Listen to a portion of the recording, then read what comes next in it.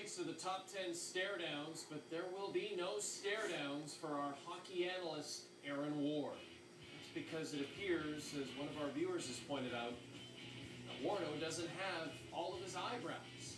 In fact, now that you mention it, it does seem that half of Wardo's eyebrows have mysteriously disappeared, and now I can reveal the reason why.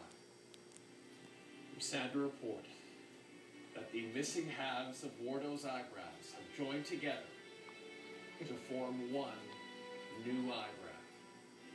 And that eyebrow was mistaken for a caterpillar and eaten by a bird. We'll miss you, Browsy!